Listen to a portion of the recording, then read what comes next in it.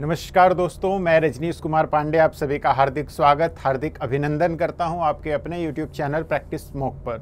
प्यारे दोस्तों, आज के सेशन की शुरुआत साहिर लुधियानवी जी के एक प्रसिद्ध गज़ल के साथ करूँगा, जो मुझे बहुत प्रिय है और कहीं ना कहीं मोटिवेशन सबसे ज़्यादा इस दो लाइन से मिलता है।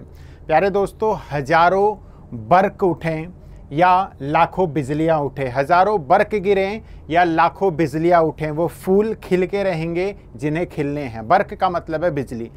कहने का मतलब है कि कितनी भी प्रॉब्लम हो, जो सक्सेस होना चाहता है, वो होकर रहेगा। तो इन दो लाइनों से शुरुआत करेंगे आज के सेशन की। प्यारे दोस्तों, दस इंपॉर्टेंट क्वेश्चन लेकर आया हूँ मैं, जो न सिर्फ़ करंट अफेयर्स के पॉइंट ऑफ़ व्यू से, बल्कि इसमें से बहुत ज़्यादा स्टैटिक पोर्शन भी आज आपको देखने को मिलेगा।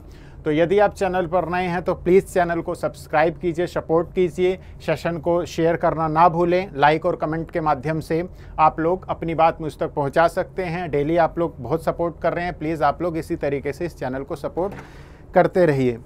प्यारे दोस्तों, कल मैंने आप लोगों से एक प्रश्न पूछा था, एक क्वेश्चन पूछा था, उसका आंसर आप मोस्टली बच्चों ने दिया था पंचायत वाला। तो ये देख के मुझे अच्छा लगता है और काफ़ी बच्चों की टाइमिंग को लेकर प्रॉब्लम या जो क्वेरी रहती है तो आठ बजे के आसपास ये डेली क्लासेस आपके लिए अवेलेबल होंगी। और सबसे बड़ी बात, ये क्लासेस संडे को भी हुआ करेंगी।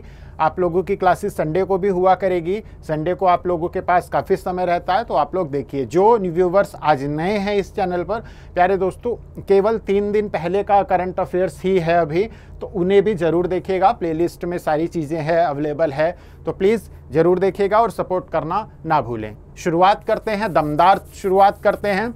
पूरे दिन आप लोगों ने क्या किया, क्या नहीं किया, लेकिन अब जो है थोड़ा सा टाइम स्टडी को दीजिए मेरे साथ।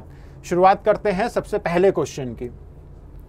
Recently Utsah Patnaik has been selected for the Malcolm Adiseshiah award 2023 she is renowned मतलब जो उत्साह पटनायक है, उन्हें मेलकम आदिशेशिया पुरस्कार 2023 मिला है, वो कौन है? प्यारे दोस्तों ये जो उत्साह पटनायक हैं, इन्हें हाल ही में मेलकम आदिशेशिया पुरस्कार 2023 के लिए चुना गया है और ये एक अर्थशास्त्री यानी कि इकोनॉमिस्ट है। याद रखिएगा, इकोनॉमिस्ट है। ये पुरस्कार हर साल दिया जाता है और इस पुरस्कार में दो लाख रुपए की राशि प्रदान की जाती है। साथ ही साथ एक अलंकरण एक सिट्यूशन मतलब भी दिया जाता है। ठीक है, एक ऑफिशियल डॉक्यूमेंट या स्पीच टाइप वो भी दी जाती है। इसके बारे में थोड़ा सा देखेंगे। उत्साह पटनायक उत्साह पटनायक याद रखिएगा Utsah Patnaik has been selected for the Malcolm Adiseshiah award 2023 ठीक? ये जो अवार्ड है, ये प्रतिवर्ष दिया जाता है Malcolm and Elizabeth Adiseshiah trust के द्वारा। ठीक है? जो कि चेन्नई तमिलनाडु में है। ठीक? इसके साथ एक जो सिटिशन दिया जाता है प्राइज मनी दो लाख, मैंने आप लोगों को बताया था, इसके तहत दो लाख रुपए दिया जाता है। हर साल ये चेन्नई में, तमिलनाडु में आयोजित किया जाता है। The award is annually presented by the M E A T to honour the contribution of outstanding social scientist in the field of development studies यदि हम बात करें, थोड़ी सी एडिशनल इसमें इंफॉर्मेशन की तो प्यारे दोस्तों यदि हम बात करें भारत की तो भारत का नक्शा मतलब इस तरीके से कुछ याद रखेगा। तो जो तमिलनाडु की बात करें तो तमिलनाडु की जो लोकेशन है, वो यहाँ पर है। मतलब इतने एरिया में, याद रखिएगा, इतने एरिया में तमिलनाडु की लोकेशन है। इसके साथ साथ तमिलनाडु की अगर बात करें तो इसकी जो कैपिटल है, इसकी जो कैपिटल है, वो क्या है प्यारे दोस्तों? चेन्नई। अगर मैं बात करूँ सीएम की तो इसके सीएम कौन है? M K Stalin M K Stalin इसके सीएम है साथ ही साथ जो रूलिंग पार्टी है, जो रूलिंग पार्टी है तमिलनाडु में तो वो कौन है? डीएमके याद रखेंगे, ये ऐसे भी याद रख सकते हैं पार्टी में भी एमके आ रहा है और जो सीएम है, वो भी एमके स्टॉलिन है। इसके साथ साथ जो गवर्नर है, जो गवर्नर है, वो है आर एन रवि तो ये तमिलनाडु से रिलेटेड एडिशनल इंफॉर्मेशन थी जो आप लोगों को पता होना चाहिए। नेक्स्ट क्वेश्चन की तरफ़ बढ़ते हैं। Recently India has contributed USD five to the United Nation entity for gender equality and the empowerment of women also known as UN women headquarter of UN women is based on प्यारे दोस्तों, प्रश्न है कि भारत ने recently जो gender equality, लैंगिक समानता और महिलाओं के जो सशक्तिकरण, एम्पावरमेंट के लिए संयुक्त राष्ट्र इकाई को पाँच लाख अमेरिकी डॉलर, लगभग अगर बात करें इंडियन करेंसी में तो वो चार करोड़ समथिंग बैठेगा। का योगदान दिया है जिसे संयुक्त राष्ट्र महिला के रूप में भी जाना जाता है। संयुक्त राष्ट्र महिला का जो मुख्यालय है, वो कहाँ पर है? तो सभी मुझे बता दीजिएगा, सभी लोगों को पता है इसका आंसर। संयुक्त राष्ट्र इसका जो मुख्यालय है, वो कहाँ पर है? इसका मुख्यालय न्यूयॉर्क यूएसए में है। इसका मुख्यालय कहाँ पर है? न्यूयॉर्क यूएसए में। India has contributed five lakh अमेरिकी dollar to UN women recently अब इसकी अगर बात करें, देखिए, इससे अगर हम इंडियन करेंसी में बातें तो लगभग चार करोड़ रुपए समथिंग आएगा तो ये भी पूछ सकता है। ठीक? The donation has been received by Sima Sami Bahous the under secretary general and executive director of UN women ठीक? इसके साथ साथ जो रुचिरा रुचिरा कंबोज इंपॉर्टेंट पर्सनैलिटी याद रखिएगा, Ruchira Kamboj is the permanent representative of India to the United Nation Bharat को, का जो प्रतिनिधित्व करती है, स्थायी रूप से, वो है रुचिरा कंबोज। याद रखिएगा। हेडक्वार्टर की बात करें अगर हम यूएन वुमेन की तो इसका हेडक्वार्टर न्यूयॉर्क यूएसए में है।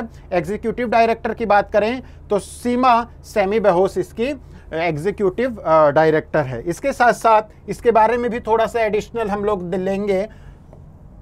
कैसे याद रखेंगे? प्यारे दोस्तों, जो जो यूनाइटेड नेशन है, उसके, उसकी जो छह पार्ट्स हैं इंपॉर्टेंट पार्ट्स हैं छह छह प्रमुख अंग हैं, जिसमें से पाँच का जो मुख्यालय है, जिसमें से पाँच का मुख्यालय न्यूयॉर्क में है, इन छह में से पाँच का मुख्यालय न्यूयॉर्क में है, बचा हुआ जो सिक्स है जिसे हम बोलते हैं ICJ international court of justice. उसका जो हेडक्वार्टर है, वो दाहेग, नीदरलैंड में है। बाकी पाँच का न्यूयॉर्क में है। तो ये कुछ एडिशनल इंफॉर्मेशन थी। अगले क्वेश्चन की तरफ़ बात करें, विश्व लीवर दिवस। प्रतिवर्ष कब मनाया जाता है? World liver day is observe annually on which date twenty first twenty nineteen या एटीन अप्रैल? आंसर की तरफ़ बढ़ते हैं। इसका आंसर है 19 April, option C. World liver day is observe annually on 19th April to create awareness about the causes of liver disease and suggest ways to prevent it so that holistic liver care can be taken मतलब ये जो है, जागरूकता बढ़ाने के लिए liver के बारे में जानकारी, ताकि लोगों तक जाए, इससे बचाव करें, इसलिए ये, जो है, दिन मनाया जाता है। लीवर की बात करें तो ये हमारी बॉडी का सेकंड लार्जेस्ट और सेकंड मोस्ट कॉम्प्लेक्स ऑर्गन है ब्रेन के बाद। मतलब फ़र्स्ट प्लेस ब्रेन का है। इसके साथ साथ ये ब्लड में जो शुगर को रेगुलेट करता है टॉक्सिक सब्सटेंस को रिमूव करता है बॉडी से ब्लड क्लोट को बनाने में हेल्प करता है और कंट्रोल करता है कोलेस्ट्रॉल लेवल्स को। यदि बात करें इसकी थीम की तो इसकी थीम है be vigilant do a regular liver checkup fatty liver can affect anyone मतलब जो लीवर मतलब फैट नहीं होना चाहिए, फिर कहीं ना कहीं वो लीवर को भी प्रभावित करता है। नेक्स्ट प्रश्न की तरफ़ बढ़ें। नेक्स्ट प्रश्न की तरफ़ बढ़ने से पहले फिर मैं रिक्वेस्ट करूँगा, यदि आप चैनल पर नए हैं तो प्लीज़ प्लीज़ प्लीज़ जिस तरीके से आप सभी लोग सपोर्ट कर रहे हैं प्लीज़ सपोर्ट कीजिए। ताकि हम इस तरीके की और भी क्लासेस आप लोगों के लिए लेकर आ पाएँ। Next question recently the government of India has launch the Sangathan se Samriddhi campaign with an aim to हाल ही में भारत सरकार ने निम्न में से आ, मतलब आ, कौन सा अभियान शुरू किया है जिसका उद्देश्य संगठन से समृद्धि है? ठीक? तो यदि हम इस प्रश्न की बात करें तो इसका आंसर सी है। Sangathan se Samriddhi campaign government of India ने रिसेंटली जो है वो लॉन्च किया है। ठीक है? To bring marginalize rural women into self help group जो स्वयं से, सहायता समूह है, उसके नेटवर्क को बढ़ाने के लिए। Union minister of rural development Giriraj Singh has launched the Sangathan se Samriddhi campaign in New Delhi it will empower marginalized rural households by bringing all eligible rural women into the fold of self help group यदि बात करें इसका जो target है वो the, वो दस लाख दस करोड़ याद रखिएगा इसका टारगेट दस करोड़ महिलाओं को इस सेल्फ हेल्प ग्रुप से जोड़ना है। वर्तमान में कितना है ये? नौ करोड़ यानी कि एक करोड़ को और जो है जोड़ना है। ठीक? This special drive will continue till 30 June 2023 इसके साथ साथ गवर्नमेंट ऑफ़ इंडिया का एक उद्देश्य और भी है कि सेल्फ हेल्प ग्रुप से जुड़कर महिलाएँ प्रति वर्ष मतलब पर एनम एक लाख रुपए तक का अपना जो है वो सेविंग या अपनी जो है कमाई कर सकें। अगले प्रश्न की तरफ़ बढ़ने से पहले मैं आप लोगों से कल एक तो स्टूडेंट्स ने कमेंट किया था कि सर, ये जो करंट अफेयर्स की सीरीज़ है, ये बैंकिंग के लिए, बिल्कुल बैंकिंग के लिए। देखिए करंट अफेयर्स को हम लोग मतलब छाट नहीं सकते कि ये वाली करंट अफेयर्स एनडीए के लिए है, ये वाली करंट अफेयर्स बैंकिंग के लिए है, ये वाली करंट अफेयर्स रेगुलेटरी बॉडीज के लिए, ये वाली करंट अफेयर्स एसएससी के लिए है, इस तरीके से नहीं। देखिए जो ग्लोबली जो चल रहा है, जो भी चर्चा में है, वो सारा करंट अफेयर्स और वो कोई भी एग्ज़ाम पूछ सकता है। यहाँ थोड़ा सा अंतर हो जाता है रेगुलेटरी बॉडीज और बैंकिंग में, वहाँ पर इकोनॉमी फिनेंस से रिलेटेड प्रश्न ज़्यादा आते हैं, लेकिन ये सब भी वहाँ पूछे जाते हैं। तो करंट अफेयर्स को स्पेशली किसी एग्ज़ाम के साथ जोड़कर देखना सही बात नहीं है। अगला question as per the latest news India has acquired armaments worth over 300 million अमेरिकी dollar from which country to arm it M S sixty Romeo choppers मतलब भारत ने अपने M S sixty Romeo helicopter को लेस करने के लिए किस देश से 300 मिलियन अमेरिकी डॉलर से अधिक मूल्य के हथियार प्राप्त किए हैं? तो इसका उत्तर है यूएस से यानी कि बी। बात करें इसकी तो इसमें देखिएगा, ये थोड़ा सा इसको आप लोग देख लीजिएगा। ऑन स्क्रीन है। और दूसरा एक प्रश्न और था आप लोगों का कि पीपीटी को लेकर। तो इसकी पीपीटी आपको हमारे चैनल के प्रैक्टिस मोक के जो टेलीग्राम ग्रुप है, वहाँ पे अवेलेबल होगी। तो ये सारी चीज़ें आप, क्योंकि देखिए, इतना समय नहीं रहता कि सारी चीज़ों को डिटेल बताया जाए। हम लोग पीपीटी को थोड़ा सा डिटेल्ड एनालिसिस करके आप लोगों के लिए बनाते हैं, ताकि आप लोग घर पर वीडियो देखने के बाद भी पीपीटी से पढ़ के अपने आप नोट्स बना पाए। अगला question which among following Indian armed forces has conducted a regional pollution response exercise 2023 निम्न में से किस भारतीय सशस्त्र बल ने एक रीजनल पॉल्यूशन रेस्पॉन्स एक्सरसाइज आयोजित किया है? तो उसका उत्तर है Indian coast guard Indian coast guard जिसका हेडक्वार्टर कहाँ पर है प्यारे दोस्तों? न्यू दिल्ली में। ठीक? इसकी अगर हम लोग बात करें तो इसने मतलब इंडियन कोस्ट गार्ड ने ये एक्सरसाइज को किया है और इसके साथ साथ इसका जो एम है, वो है pollution response efficiency to the region comprise of a simulated oil spill from a crude oil tanker off Kakinada additional information headquarter New Delhi है, और जो इसके डायरेक्टर जनरल है इंडियन कोस्ट गार्ड के, वो हैं राकेश पाल, जो कि सीनियर आईपीएस ऑफिसर भी हैं। Mangrove pitta birds mentioned in the news recently is found in which of the following parts of India हाल ही में समाचारों में उल्लेखित जो मैंग्रोव पित्त पक्षी भारत के निम्न में से किस भाग में पाए जाते हैं? तो वो है ईस्टर्न पार्ट ईस्टर्न की बात करें तो ये भारत के मतलब पूर्वी भाग में पाए जाते हैं। यहाँ थोड़ा सा इस चीज़ को देखेंगे हम लोग। ये जो उड़ीसा में हैं, उड़ीसा में पाए गए हैं, यदि उड़ीसा की लोकेशन की बात करें तो हम लोग देख सकते हैं मतलब इस तरीके से। तो ये ईस्टर्न पार्ट कहलाएगा भारत का। यहाँ पे ये जो है मैंग्रोव पिथ बर्ड्स जो है है और इसकी जो है मतलब कहीं ना कहीं पक्षियों को भाई डाटा इकट्ठा किया जा रहा है India's first mangrove pitta bird census has been conducted in the Bhitarkanika national park in Orissa एक एडिशनल इंफॉर्मेशन और कि भीतरकर्णिका नेशनल पार्क भारत के किस स्टेट में है तो वो है उड़ीसा में ठीक है to study the population analysis of these birds. A total of 179 individual mangrove pit birds have been sighted. इसका जो साइंटिफिक नेम है, वो है पित्त। मेघार पित्त, मेघार्च यंचा। ठीक, ये देख लीजिएगा। They are small secretive birds measuring यदि बात करें इन मैंग्रोव पिथ बर्ड्स की तो 17 से 19 सेंटीमीटर तक जो है, इनका मेजर मतलब इनकी हाइट है लेंथ है। और अगर वेट की बात करें तो ये केवल 45 से पैंसठ ग्राम तक के बहुत ही छोटे छोटे प्यारे प्यारे पक्षी होते हैं। द बर्ड यूजली फीड्स ये इंसेक्ट्स को खाते हैं।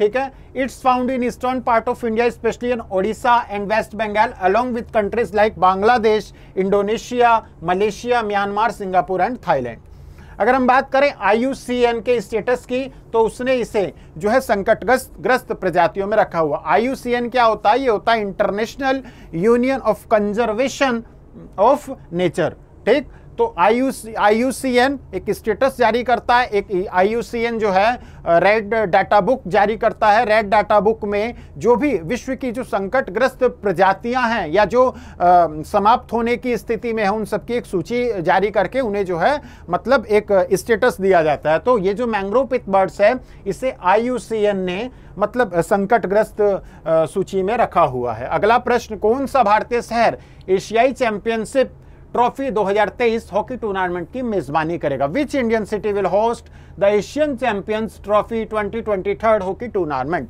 Chennai, New Delhi, Gwalior, Bhubaneswar.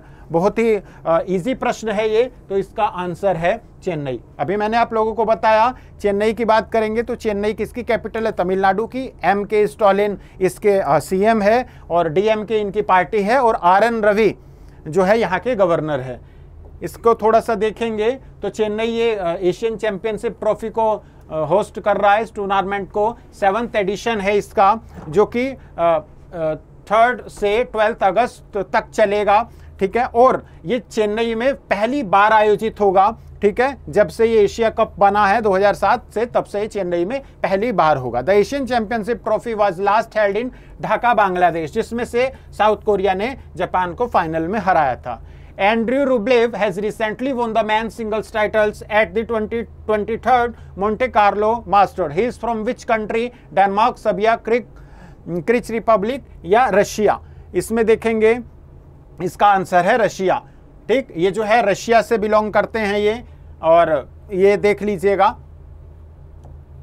अगला who has become the first Indian female cricketer to be named a Wisden cricketer of the year, ठीक? दीप्ति शर्मा, स्मृति मंधाना, पूनम यादव या हरमनप्रीत कौर। तो ये हरमनप्रीत कौर है, जिसे Wisden cricketer of the year से नामित होने वाली भारत की पहली महिला क्रिकेटर है। Wisden cricketer almanack has released the list of top five cricketers of the year 2022 recently ठीक है? जिसमें से अगर हम बात करें सूर्य कुमार यादव की तो ये इन्होंने T twenty cricketer of the year का इन्हें खिताब मिला है। हरमनप्रीत कौर पहली भारतीय महिला है जिन्होंने इस तरीके से आ, मतलब उपलब्धि हासिल की है। ठीक? ये देख लीजिएगा। ठीक? तो दस महत्वपूर्ण प्रश्न जो थे, आज के आपने देखा होगा स्पोर्ट्स से भी। जैसे कि अगर हम बात करें, कल वाली जो क्लास हुई थी, उसमें मिनिस्ट्री से संबंधित क्वेश्चन थे तो साथ ही आपको मिनिस्ट्री में कौन कौन है, वो चीज़ें पता चली। आज के स्पोर्ट्स से संबंधित है तो वो सारी चीज़ें। एडिशनल इन्फॉर्मेशन आपको ज़्यादा अवेलेबल कराने की कोशिश कर रहा हूँ, ताकि आपका स्टैटिक वाला पोर्शन भी थोड़ा थोड़ा मतलब रन में रहे, याद रहे, ठीक? तो आज की क्लास को यहीं मतलब एंड करते हैं। कल फिर मिलते हैं, अगली क्लास में, कल फिर मुलाकात होगी, तब तक खूब मन लगाकर पढ़ाई करते रहिए, खूब मन लगाकर देखिए कंपटीशन बहुत ज़्यादा है, यदि आप अच्छे से पढ़ाई कर रहे हैं तो सफलता निश्चित है, यदि आप थोड़ा सा भी उसमें ढील देंगे, थोड़ी सी भी लापरवाही करेंगे तो फिर आप कॉम्पिटिशन में बहुत नीचे तक आ जाएँगे, और हम या मैं, आप खुद भी नहीं चाहते कि इस तरीके से मतलब फेल्योर मिले। तो खूब मन लगाकर पढ़ाई कीजिए, जो भी आप पढ़ रहे हैं, थोड़ा सा करंट अफेयर्स को टाइम ज़रूर दीजिए, थोड़ा सा हमारे साथ टाइम स्पेंड कीजिए, ताकि कुछ और ज़्यादा एडिशनल नॉलेज आपको मिल सके। प्लीज़ चैनल को निवेदन करता हूँ आपसे शेयर कीजिएगा सेशन को लाइक कमेंट ज़रूर कीजिएगा और जितना ज़्यादा से ज़्यादा हो सके, दोस्तों से सब्सक्राइब करवाइए। ये आपकी एक मॉरल ड्यूटी भी है, ठीक? कल फिर मुलाकात होगी, तब तक के लिए खूब मन लगाकर पढ़ाई कीजिए। जय हिंद, जय भारत।